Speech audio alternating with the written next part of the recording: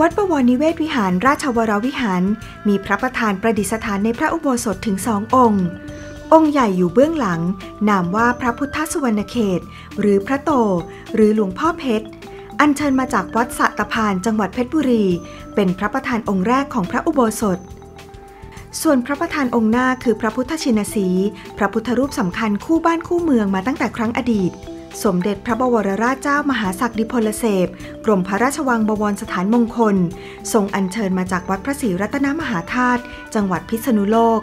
มีพุทธลักษณะที่งดงามแบบศิลปะสุขโขทัยที่ฐานพุทธบัลลังก์บรรจุพระบรมราชสรีรางคาร พระบาทสมเด็จพระมงกุฎเกล้าเจ้าอยู่หัว